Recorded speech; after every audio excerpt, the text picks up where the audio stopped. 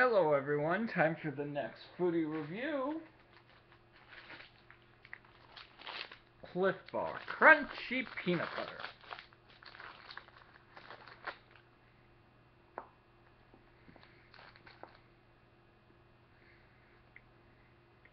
Mmm.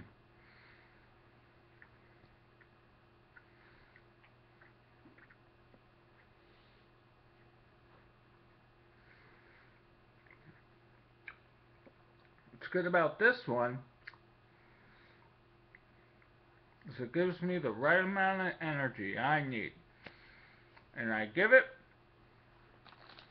an 8 out of 10. See you guys next time. Bye bye.